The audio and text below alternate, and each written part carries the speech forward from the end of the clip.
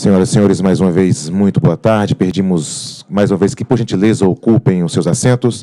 Lembramos ainda a importância de serem mantidos os aparelhos sonoros no modo silencioso.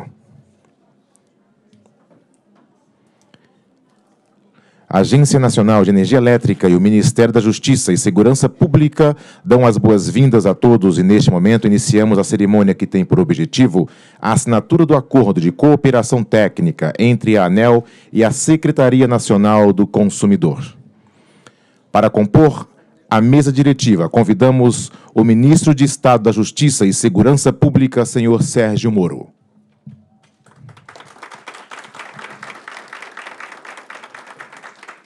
Convidamos o diretor-geral da ANEL, senhor André Pepitoni.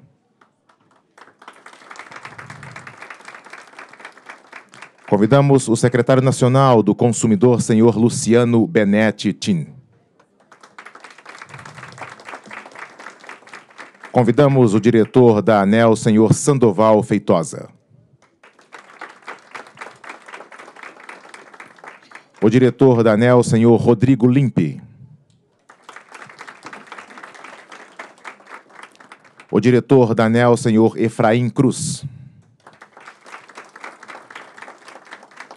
O superintendente de mediação administrativa, ouvidoria setorial e participação, senhor André Ruelli.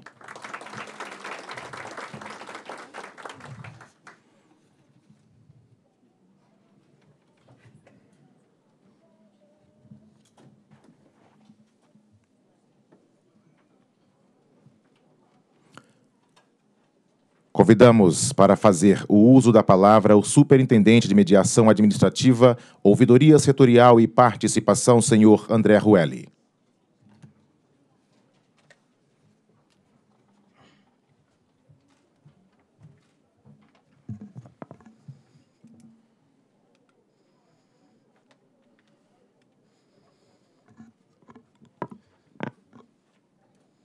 Excelentíssimo ministro Sérgio Moro, uma honra recebê-lo aqui em nossa casa, excelentíssimo diretor-geral da agência, doutor Peptone, que tem atuado fortemente na defesa do consumidor aqui no âmbito da agência, em inserir o consumidor no centro.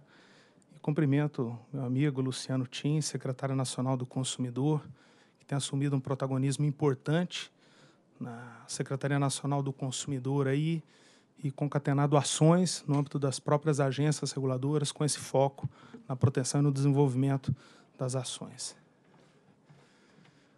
É, senhoras e senhores, boa tarde. Antes de iniciar minha fala, gostaria de contextualizar a atuação da agência é, numa macrofunção de dirimir conflitos do setor elétrico. Então, é uma função onde a gente coloca o consumidor no alvo, no centro, e a partir daí desenvolve ações regulatórias né, para ter como base essa, assim dizer, um, é, um bom resultado nesse dia a dia aí com o consumidor.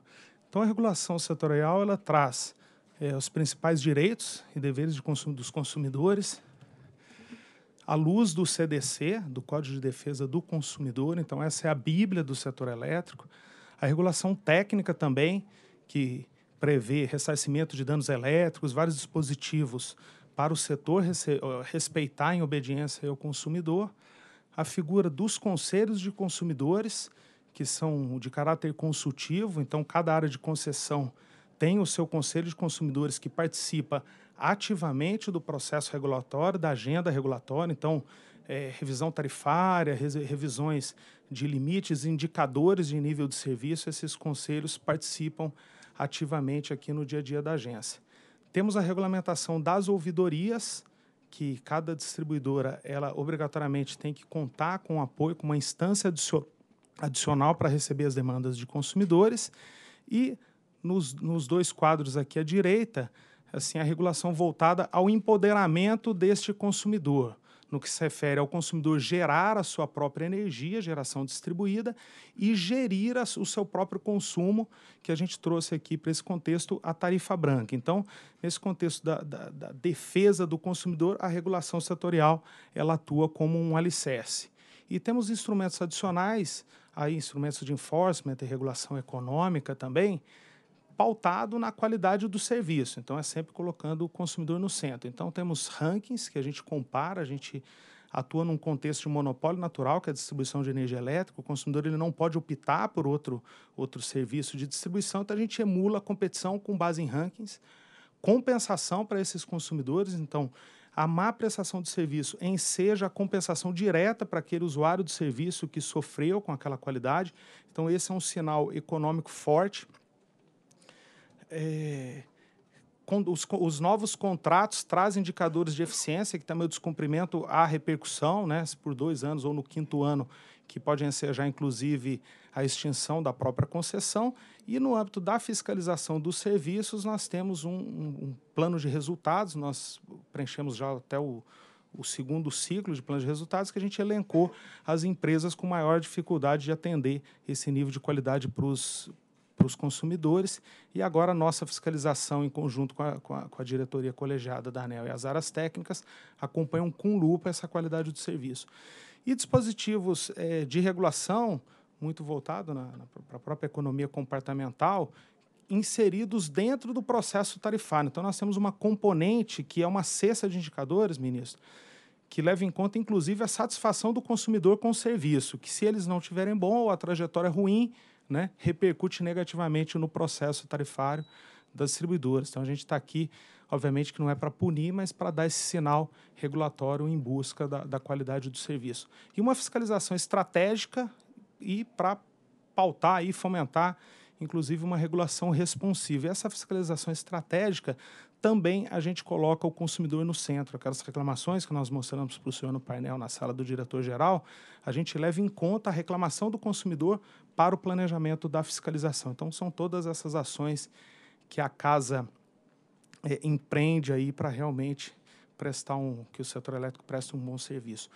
É, aí entrando um pouco, já pensando no escopo do, do nosso acordo de cooperação técnica, nós temos os canais de comunicação com a sociedade. Então, toda distribuidora ela é obrigada a manter todos esses canais, presencial, atendimento telefônico, internet, para atender todo tipo de consumidor. E agora, com o advento da consulta pública 27, que muda aquela bíblia do setor, que é a resolução 414, nós introduzimos uma proposta agora para aprimorar esse atendimento. Inclusive, a que temos como relator o nosso diretor ouvidor, doutor Efraim, inclusive adesão compulsória à plataforma consumidor.gov. E por que adesão compulsória? Porque a gente atua num contexto de monopólio natural e a regulação setorial é muito forte, ela precisa ser em relação ao consumidor.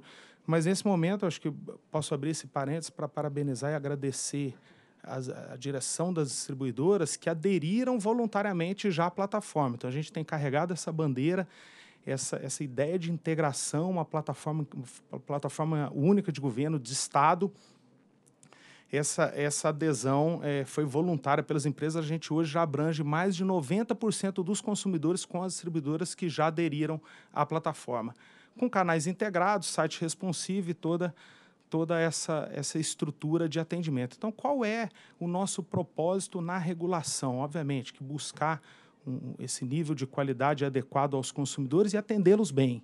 E nós precisamos atender todos os tipos de consumidores. Então, desde a geração Y, geração dos milênios, agora que já nasceram com smartphone, mas nós temos também aqueles consumidores que requerem um atendimento presencial, um atendimento de balcão para resolver os seus problemas.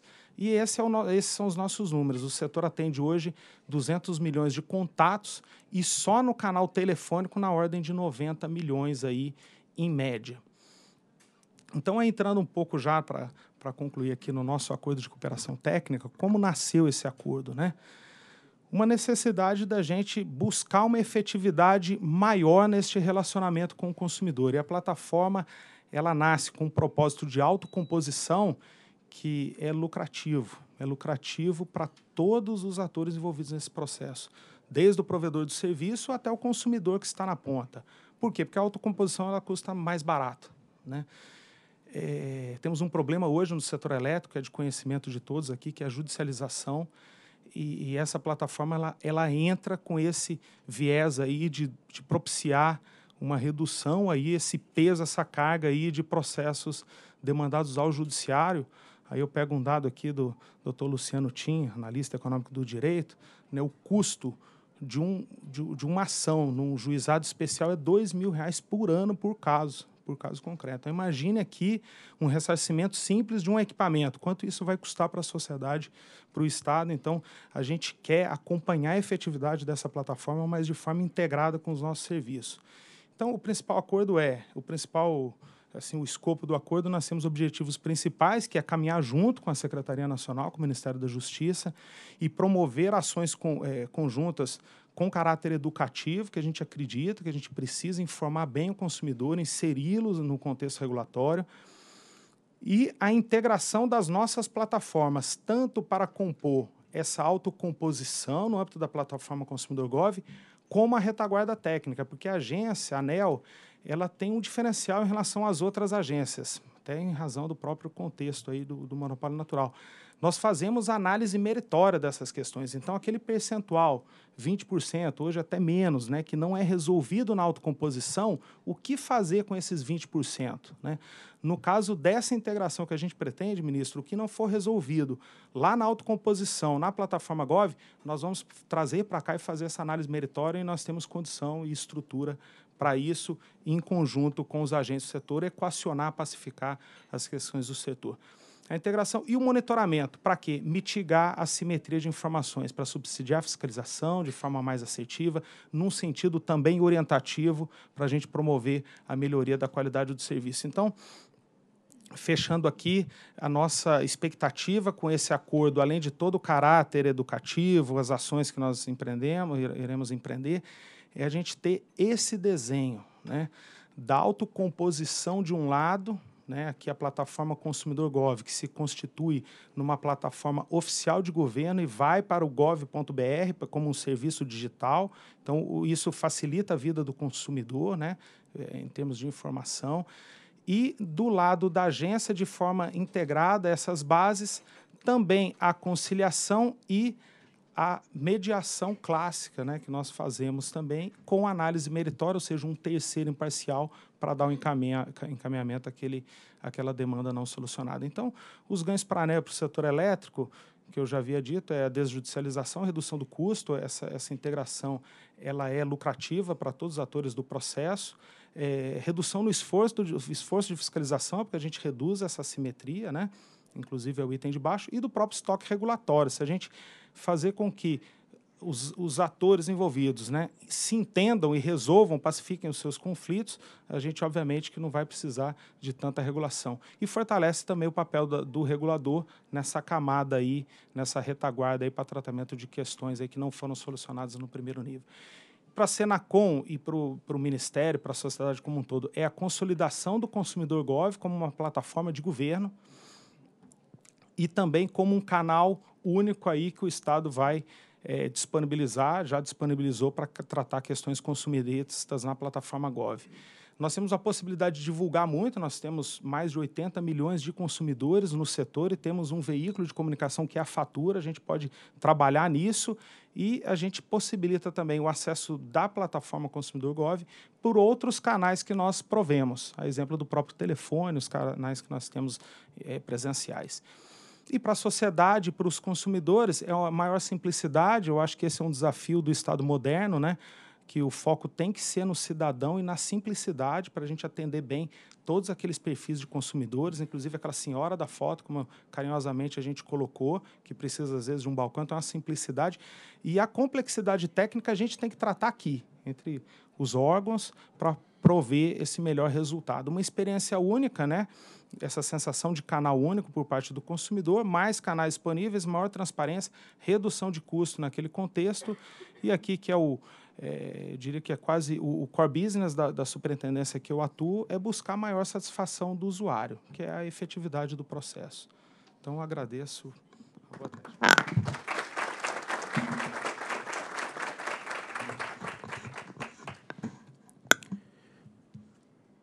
Neste momento, ouviremos o secretário nacional do Consumidor, senhor Luciano Benetti Tim.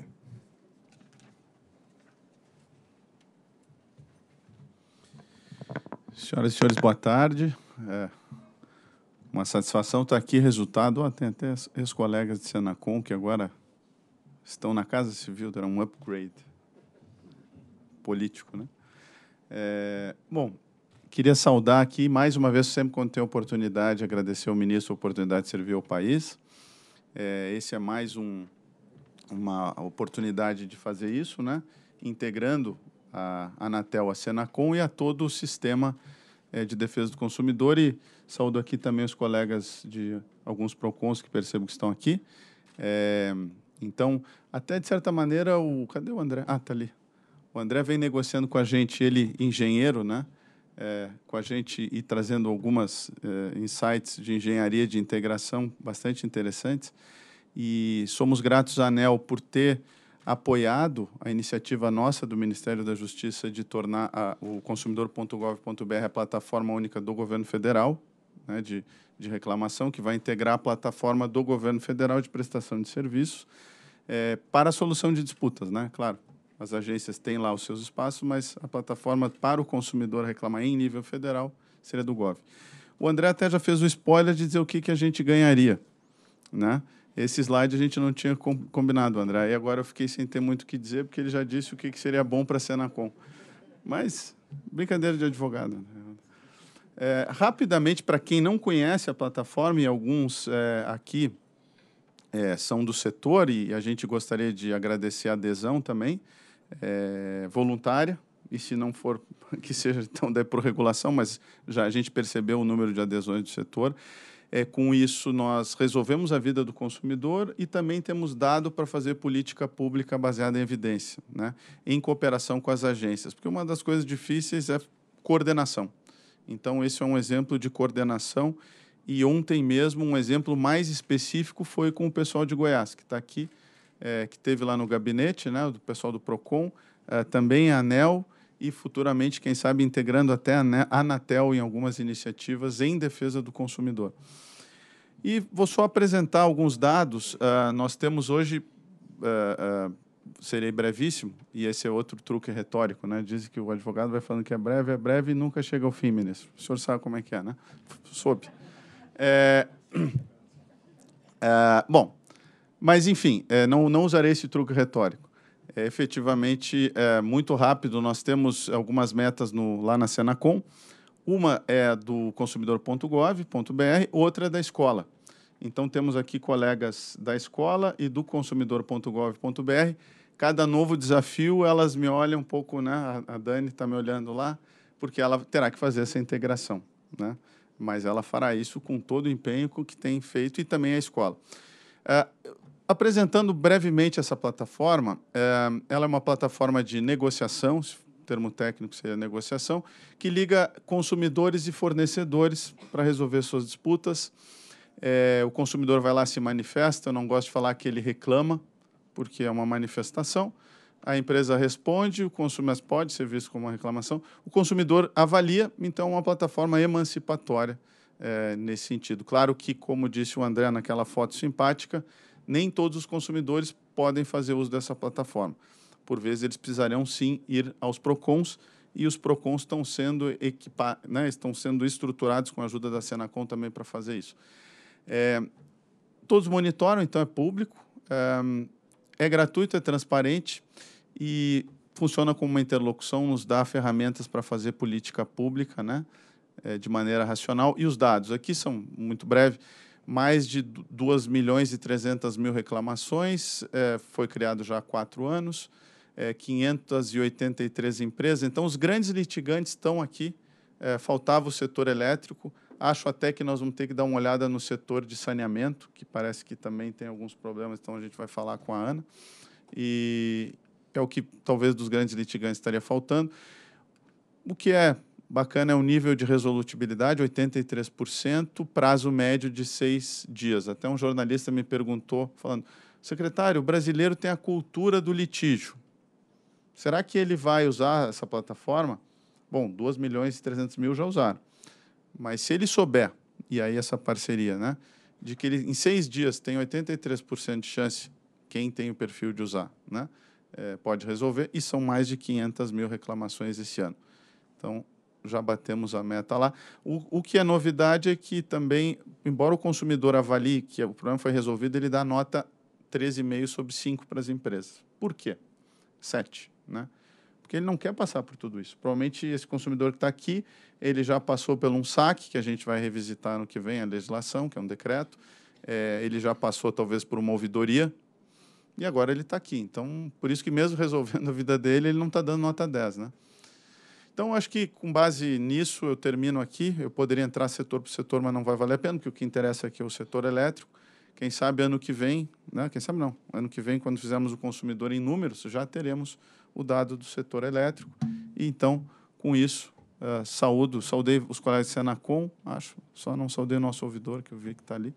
É importante esse apoio da nossa ouvidoria. Então, muito obrigado e que uh, tenhamos um bom ano aí de trabalho pela frente. Anel. Quase que eu falei Anatel.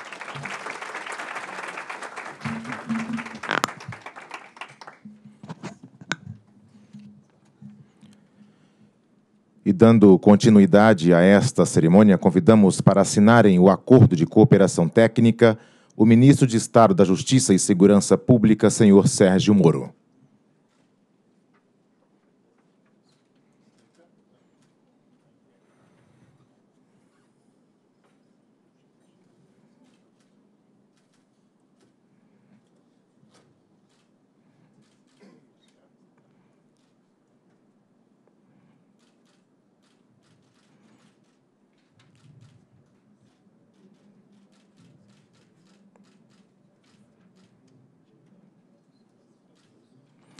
Assina ainda o diretor-geral da ANEL, senhor André Pepitone.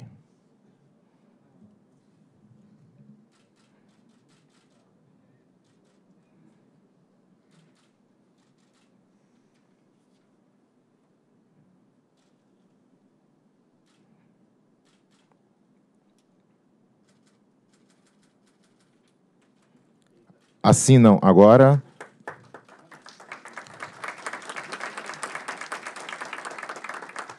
Assinam agora o secretário nacional do consumidor, senhor Luciano Benetti Tin.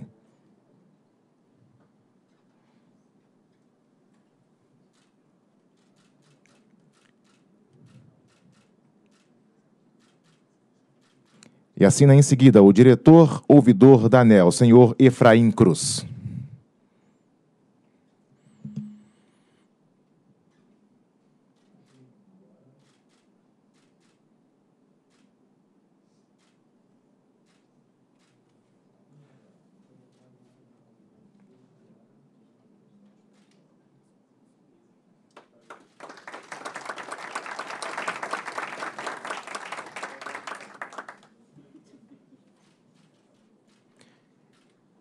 Convidamos neste momento para fazer o uso da palavra o senhor Efraim Cruz, diretor ouvidor da ANEL.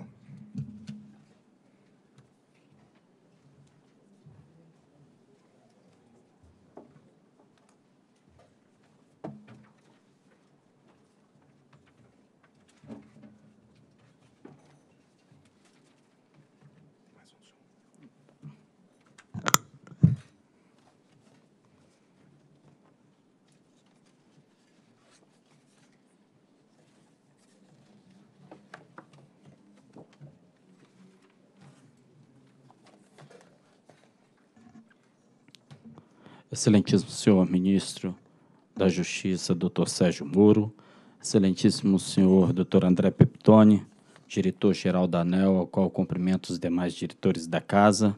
Aproveitar para puxar a sardinha, vou cumprimentar aqui todo o Ministério da Justiça em nome do meu professor Meneguim e nosso colega ouvidor do Ministério da Justiça, nosso professor de mestrado e nosso colega de sala de aula. E, em nome do André Ruelli, cumprimentar todos os funcionários da agência que tanto contribuíram para hoje estarmos aqui assinando esse termo de cooperação. E também agradecer a presença de todos os presidentes de distribuidora, que vejo Augusto, que vejo também o doutor Alexandre, que contribuíram, ministro, com a forma voluntária de aderir, em que pese a regulação está caminhando no sentido de uma decisão de compulsoriedade. Senhoras e senhores, caro ministro, de todos os segmentos dos serviços, sem sombra de dúvidas, o setor elétrico é o mais capilarizado, alcançando todo o território nacional. Em suas cinco regiões, em seus 26 estados e Distrito Federal, seus 5.570 municípios, e em 2019 o setor atingiu a marca histórica de mais de 83 milhões de unidades consumidoras. Isso através de um esforço e dedicação dioturno de todos os servidores dessa casa, dos geradores, transmissoras, comercializadoras e dos mais de 104 agentes de distribuição entre concessionárias e permissionárias do nosso país. A Agência Nacional de Energia Elétrica, nesses mais de 20 anos de existência, competiu a difícil missão de trazer equilíbrio para o setor, conciliando as justas expectativas do consumidor com os interesses dos agentes setoriais. Ao mesmo tempo em que focamos na modernização contínua, temos por limite a modicidade tarifária na busca do equilíbrio que se traduz em eficiência. E tudo isso nós fazemos, senhor ministro, através de consultas públicas, conferindo a maior publicidade possível aos atos decisórios dessa casa. Compete-nos, na atividade contínua de regulação do mercado, encontrar o ponto ótimo entre o interesse do consumidor de energia, que é o grande custeador de todo o sistema, e suas possibilidades econômicas. Certamente, aqui está o aspecto mais nobre de nossa atuação a atenção e o cuidado dedicado aos consumidores residenciais, rurais, comerciais e empresariais e o poder público, que são os grandes beneficiários finais das nossas decisões. Por conta da capilaridade do setor e por seu papel de intermediação dos interesses públicos e privados, a ANEL tem participado ativamente nos processos estratégicos do governo. Destaco em especial o projeto de parceria público-privada que desenvolverá projetos piloto em cidades estratégicas com a ampliação e a melhoria da infraestrutura de iluminação pública, com foco na eficiência e proporcionando e proporcionamento de novos serviços, como monitoramento e sensoriamento de espaços públicos, tornando-os cada vez mais seguros à noite. E com certeza, ministro, encontrará amparo nos projetos do Ministério da Justiça que visam a redução da criminalidade. É notório que a iluminação pública impacta nos números da segurança pública, sendo importante importante aliado do poder público. Nessa matéria é recorrente que citemos o exemplo dos dados da Inglaterra que em 74, durante a crise do petróleo, no qual 50% da iluminação dos espaços públicos foram reduzidos nas áreas urbanas, foi aumentado em torno de 50% números totais de crimes e em 100% a quantidade de furtos. Se não fosse o histórico, é natural que nos sintamos mais seguros em ambientes que à noite são melhores iluminados. O setor elétrico, por sua vez, através das distribuidoras, é quem predominantemente contribuiu para a execução do serviço, conquanto recolha a contribuição da iluminação pública, CIP ou COSIP, que é o Instituto pelos municípios, é, Instituto pelos municípios através de leis, que é instituído pelos municípios. O setor elétrico nessa matéria, inclusive a ANEL, através da nossa Superintendência de Regulação de Serviços da Distribuição, além de intermediar a coleta dos dados das distribuidoras das cidades selecionadas, tem estudado as possibilidades técnicas e prestado suporte à PPI, conciliando-as com as necessidades públicas. Em outro campo, já através da nossa Superintendência de Gestão Técnica da Informação, estamos em sintonia com o Ministério da Justiça, com vistas ao compartilhamento de dados do setor, fomentando um trabalho analítico de inteligência e fortalecendo os mecanismos de governança e compliance, prevenindo ações irregulares. Além dessas ações, que trarão notáveis benefícios, não só para o setor, mas para a população brasileira como um todo, todo, hoje estamos celebrando um termo de cooperação técnica visando ampliar o acesso social através da internet aos serviços prestados pela ANEL. Especificadamente sobre esse ponto, notemos que, dentre todos os normativos aprovados pela ANEL e suas devidas importâncias, a Resolução Normativa 414, de 9 de setembro de 2010, é certamente o marco regulatório onde foram estabelecidas as garantias essenciais da prestação do serviço, um verdadeiro pilar dos direitos e garantias do consumidor Cabe mencionar que a 414 é um resultado de avaliação de mais de 3 mil contribuições, ministros, notadamente se revelando a concretização dos nossos valores institucionais de compromisso com o interesse público, de diálogo amplo e com os mais, com os mais diversos segmentos sociais, de atuação ética, proba e transparente, bem como um dos nossos maiores desafios, que é de garantir o equilíbrio entre a concessão e o consumidor.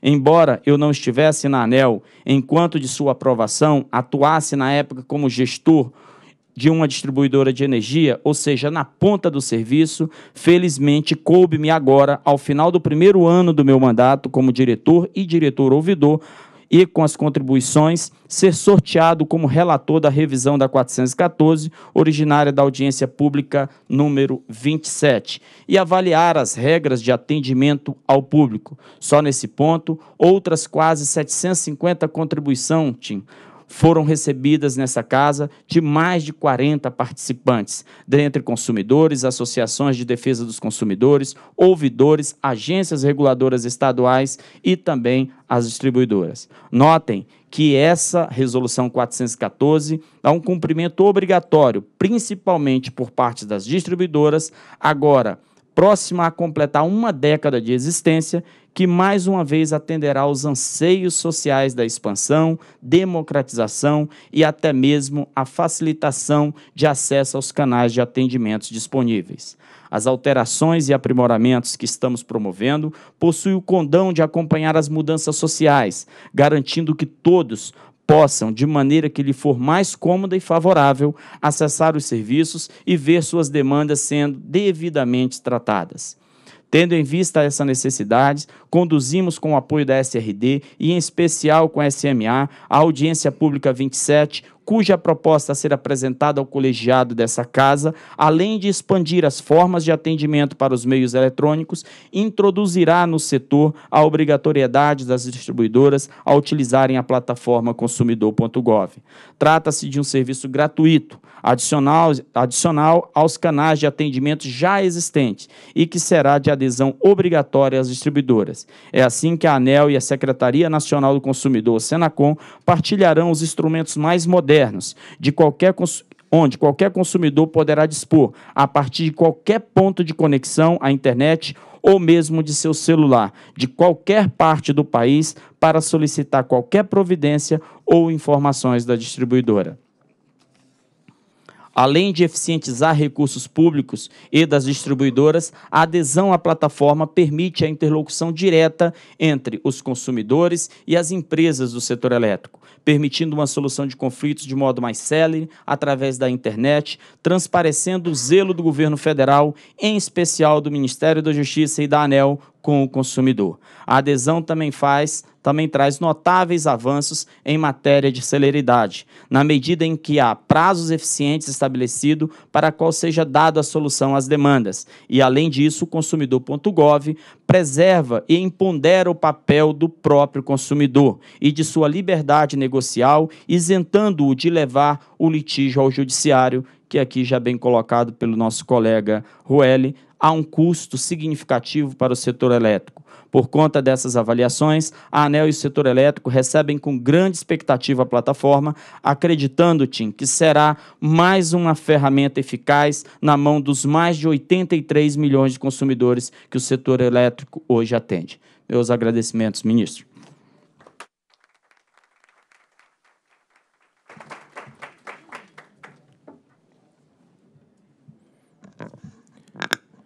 Com a palavra, neste momento, o senhor André Pepitone, diretor-geral da ANEL. Boa tarde a todos. Eu vou falar aqui, ministro, da, daqui da mesa mesmo. Então, primeiro, cumprimentar o nosso ministro de Estado da Justiça e Segurança Pública, ministro Sérgio Moro, dizer da honra, da alegria e da satisfação de receber Vossa Excelência aqui na nossa casa, na Casa da Regulação. Saudar o nosso secretário nacional do consumidor, Luciano Tim, em nome de quem cumprimento todos os servidores do Ministério da Justiça e da Casa Civil aqui presentes. Luciano Tim, que é um grande parceiro, um grande batalhador, e tivemos facilitando, né, e estamos alinhando diversas posições com o intuito sempre de prestigiar o consumidor, atender o consumidor, como disse o nosso diretor Efraim, os mais de 83 milhões de consumidores do setor elétrico nacional. Saudar os diretores da ANEL, diretor ouvidor, doutor Efraim, diretor Sandoval, diretor Rodrigo Limpe, cumprimentar todos os servidores da casa aqui presentes, em nome do nosso superintendente de mediação administrativa setorial, o André Ruelli. Saúdo os representantes das empresas, e tem diversos aqui, e das associações do setor elétrico, muito bem-vindos. A presença de vocês engrandece essa solenidade. Saudar, é, Luciano, também todos os representantes do sistema de defesa do, do consumidor. Bom, ministro, nós estamos é, vivendo no atual momento a modernização do setor elétrico. Então, a, a, estamos é, vivenciando transformações na sociedade e na tecnologia que está acontecendo todo dia ao nosso redor. E aqui eu cito a geração distribuída, que é aquele consumidor que gera sua própria energia, e hoje a maneira mais comum é por meio de painel solar. Os veículos elétricos que estão chegando na Europa, na Noruega, já é uma realidade. Em 2017, 60% dos veículos novos emplacados na Noruega eram elétricos. E no Brasil começa a chegar e começa a ser uma realidade. Nós estamos vivenciando aqui o armazenamento da, da energia, ações de respostas da demanda, bem como a respectiva consequência desse conjunto de inovação na rede de distribuição, que é o grande desafio do momento. É como que esse pacote de, de inovação está influenciando a, a rede. Veja só que antes o elétron tinha um movimento unidirecional, saía das usinas hidrelétricas lá no norte, como Tucuruí, Belo Monte, que por sinal vai ser inaugurada amanhã, a maior obra de infraestrutura do país, e vinha caminhando as vias, né, as rodovias do setor elétrico, são as linhas de transmissão, linha de distribuição até chegar na residência. Agora mudou. Agora o consumidor está gerando sua energia. Então o elétron sai da residência e entram nessas vias. Então tudo isso é novo, é um processo disruptivo e que exige da regulação, exige das empresas, ou seja, o setor elétrico está aprendendo é, com essa inovação. E nesse ambiente de tamanhas inovações, que vai alterar completamente a maneira como nós nos relacionamos com o setor elétrico, emerge um novo consumidor. E como é esse novo consumidor? É um consumidor empoderado, é um consumidor com interação mais participativa diante das informações em tempo real. Veja só, antes, quando eu falo antes, na década de 90, ministro Moro, o, o contador de energia, o medidor, ficava no lugar ermo da casa. Ninguém tinha acesso, só o, o funcionário da concessionária lá que ia anotar mês a mês o, o, o, o, quanto andou o medidor. Hoje não. Hoje esse medidor ele traz uma série de informações como qualidade, preço, tudo isso em tempo real e o consumidor passa a ter uma grande interação com esse medidor de energia, mudando completamente a relação do consumidor com o setor elétrico. É esse o momento que nós estamos vivendo. Então, um consumidor que se informa sobre o consumo de energia, sua qualidade, que gera a sua própria energia. E esse novo consumidor, vamos chamar assim, é um consumidor informado, é um consumidor conectado e ciente dos seus direitos. Muito ciente dos seus direitos. E a ANEL está ciente e está preparada para atender esse novo consumidor. Então, nós temos uma resolução 414 de 2010, que seria a constituição do setor elétrico, digamos assim. Lá tem todos os direitos e deveres do consumidor abarcando inclusive os conceitos previstos no Código de Defesa do Consumidor, secretário Luciano Tim, o CDC. E essa resolução ela passa na atualidade por aprimoramentos, o diretor Efraim apontou em sua fala, e atualmente os capítulos que estão sendo revistos estão, são relacionados aos canais de atendimento para ampliação para canais digitais e o de que trata a leitura e a emissão de fraturas. Então, hoje nós temos que respeitar a diversidade de consumidores. Nós temos aqueles consumidores tradicionais que têm dificuldade de se relacionar com o meio digital, que terá sua agência de atendimento física, e temos o consumidor digitalizado, que hoje pode resolver todas as suas demandas e necessidades por meio do, do celular. A ANEL tem um aplicativo que se chama ANEL Consumidor, que pode ser instalado em qualquer celular, tanto do ambiente da Apple como do ambiente Android, e por meio desse aplicativo a gente tem as informações da tarifa e eu tenho acesso à ouvidoria da agência. Isso aqui para prestigiar um consumidor mais digitalizado. E hoje, com o ato que acabamos de assinar, ministro Moro, firmamos a adesão da Agência Nacional de Energia Elétrica ao portal consumidor.gov.br o portal que é tão bem gerido né, pelo nosso secretário Luciano Tim. E toda a, a, a sua equipe. Então, consumidor.gov.br está em convergência com todas as preocupações do Estado brasileiro em bem atender o consumidor.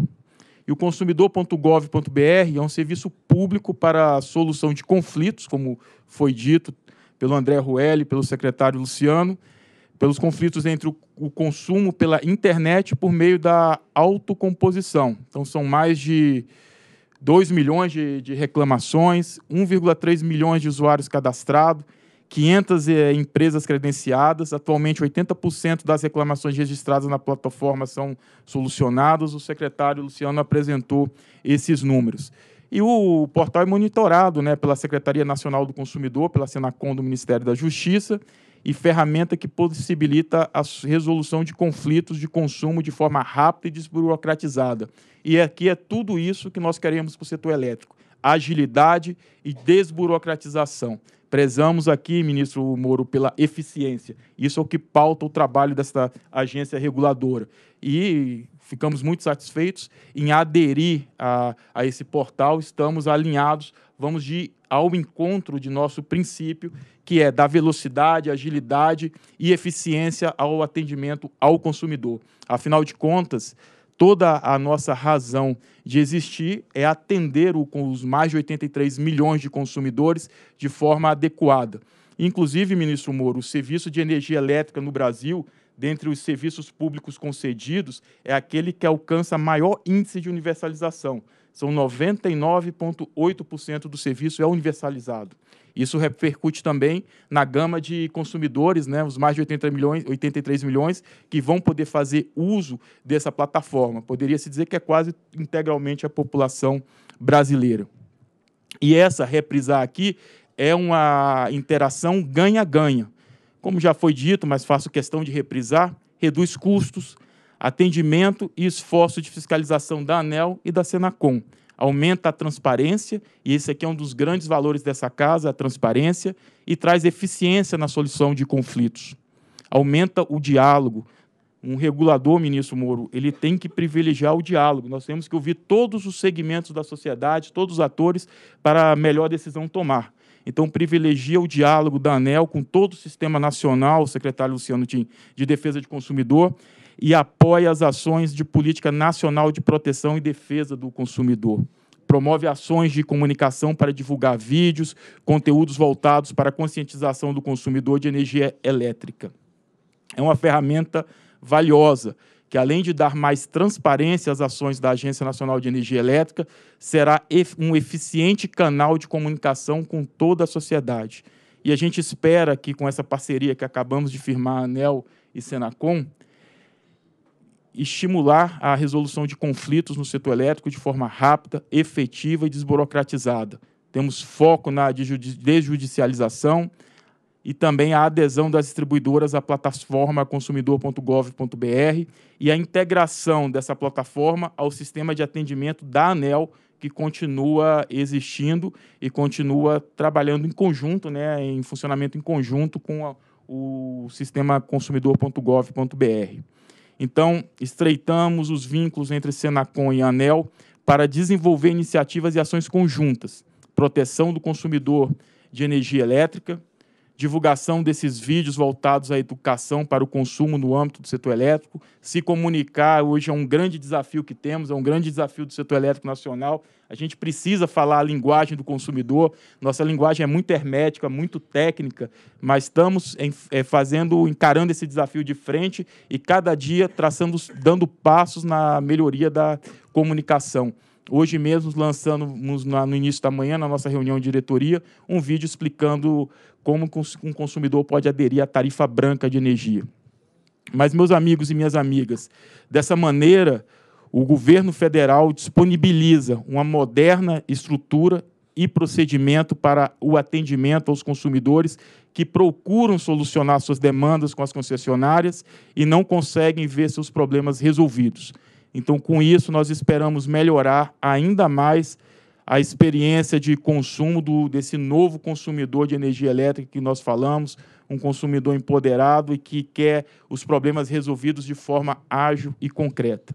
Então, agradeço mais uma vez ao Ministério da Justiça, ao ministro Moro pela presença na, na nossa sede, na ANEL. Agradeço ao secretário Luciano Tim e temos uma excelente expectativa de quão útil vai ser essa plataforma para atender o consumidor de energia elétrica nacional. Muito obrigado.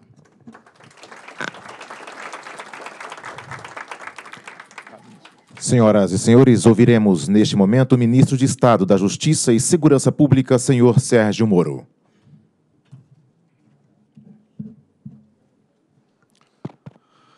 Boa tarde a todos. Eu vou tomar liberdade também de falar aqui desse local. Queria cumprimentar todos os presentes, diretor-geral da ANAEL, André Peptoni, toda a diretoria, senhor Efraim Cruz, Rodrigo Lipe, o superintendente André eh, Ruelli, né? Isso. Uh, também o superintendente, desculpe, o superintendente Sandoval. Diretor Sandoval. E diretor Sandoval. Um cumprimento especial aqui ao secretário nacional do consumidor, o Luciano Tim. Todas as equipes aqui do Ministério da Justiça e Segurança Pública, eu vejo aqui o nosso ouvidor geral também, o senhor Ronaldo Vieira, uh, além de outros funcionários do Ministério da Justiça toda a equipe da ANAEL, servidores, senhoras e senhores, presidentes distribuidoras. É, felicito é, as equipes envolvidas na construção desse acordo. É, a ANAEL tem um papel extremamente importante na regulação e fiscalização do setor elétrico. Só perde a importância da regulação e fiscalização para o próprio consumidor de energia elétrica. Né? Ele é o regulador na medida em que ele reage ao funcionamento desse setor elétrico, por exemplo, desligando a luz, às vezes ele manda um recado, está muito caro, está muito barato. Claro que às vezes ele esquece, né? me enquadro também nisso. Na fiscalização, é, igualmente, é aquele que faz a primeira reclamação quando algo não funciona bem, quando há uma queda de sistema, quando há queima uma luz, quando tem qualquer espécie de problema.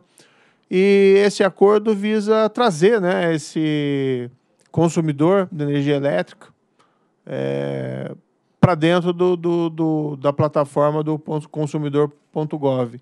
Acho que nós apenas agregamos, damos voz, mais um caminho a esse consumidor para externar é, as suas eventuais reclamações em relação ao problema da energia elétrica. E com isso nós possibilitamos também a melhoria do sistema, né? saber, conhecer o que acontece na ponta é fundamental para que nós possamos, o setor público e também eh, os concessionários, as distribuidoras, o setor privado que atua nessa área, saber como melhor atender as necessidades eh, do consumidor, que afinal de contas é o beneficiário final, né, a população brasileira, de todos esses esforços de construção eh, de, um, de um sistema elétrico potente que potencialize o desenvolvimento da economia brasileira e que, por outro lado, também atenda às necessidades cada vez mais crescentes né, uh, do nosso consumidor. Nós temos que pensar adiante, acho que foi muito bem dito pelo diretor, uh, um futuro em que o, a economia uh, baseada em petróleo, óleo e gás tem uma tendência de ser diminuída por energias mais limpas e entre elas nós temos aí as perspectivas já existentes, mais crescentes de veículos elétricos. Enfim, nós temos que avançar nessa área. Então, parabéns às duas equipes. Uh, da parte do Ministério da Justiça e Segurança Pública, nós vamos continuar dando todo o apoio para que essa plataforma seja fortalecida e abranja o maior número de consumidores as mais diversas áreas possíveis, entre elas aqui do setor elétrico. Muito obrigado.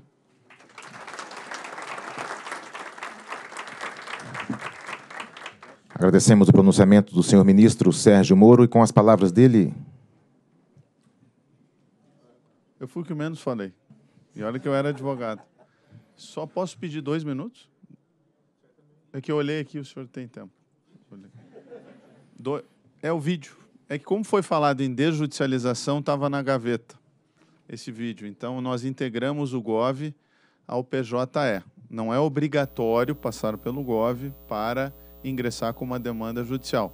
Há uma opção, outra que é dada. Então, como foi falado, judicialização e a gente integrou com o PJE em razão de um ACT, um acordo que a gente fez com o CNJ. Só, por favor, som na caixa.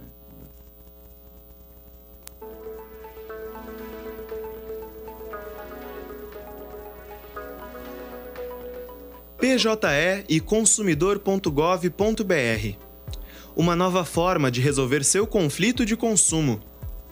O sistema utilizado pelo Poder Judiciário para a tramitação eletrônica de processos, PJE, foi integrado à plataforma consumidor.gov.br. É um serviço público e gratuito que permite a interlocução direta entre consumidores e empresas, buscando a solução negociada de conflitos de consumo pela internet. Trata-se de iniciativa pioneira do Conselho Nacional de Justiça e da Secretaria Nacional do Consumidor, Senacom, do Ministério da Justiça e Segurança Pública. Com isso, quando um cidadão ingressar com uma ação judicial contra empresas cadastradas na base da plataforma, será possível optar pela realização de uma negociação online, sem que isso atrase ou interfira no andamento do seu processo judicial e, inicialmente, essas ações alcançarão apenas o segmento bancário. Como funciona? Tudo é muito rápido. Ao ajuizar uma ação de consumo no juizado especial, seja no serviço de redução a termo ou por intermédio de um advogado, você será questionado se tem interesse em realizar uma tentativa de solução do seu conflito pelo consumidor.gov.br. Caso tenha interesse, os dados cadastrados ao iniciar o seu processo serão utilizados tanto para formar sua reclamação no consumidor.gov.br, quanto para gerar automaticamente uma petição inicial dentro do PJE.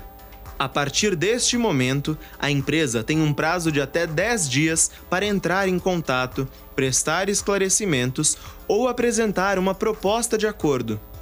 Após a resposta da empresa com uma proposta de acordo formalizada, é você quem diz se seu problema foi resolvido ou não. Para isso, é necessário que no prazo de 20 dias você avalie no consumidor.gov.br se o seu problema foi resolvido.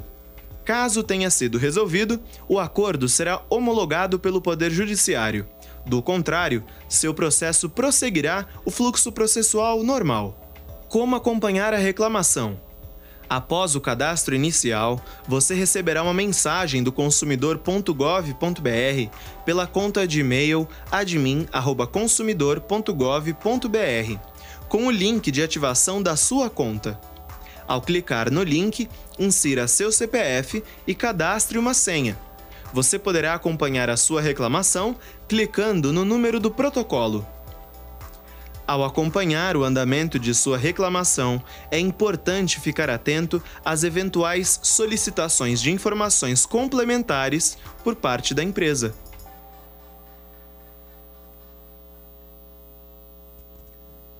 Bem, senhoras e senhores, está encerrada a cerimônia. A ANEL agradece a presença de todos. Tenham uma boa tarde.